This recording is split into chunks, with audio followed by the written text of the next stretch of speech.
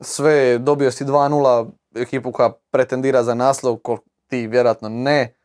Ovaj, sve, znači doma gaziš 2-0, ne mogu ti proći centar, sve, sve, sve, sve, sve.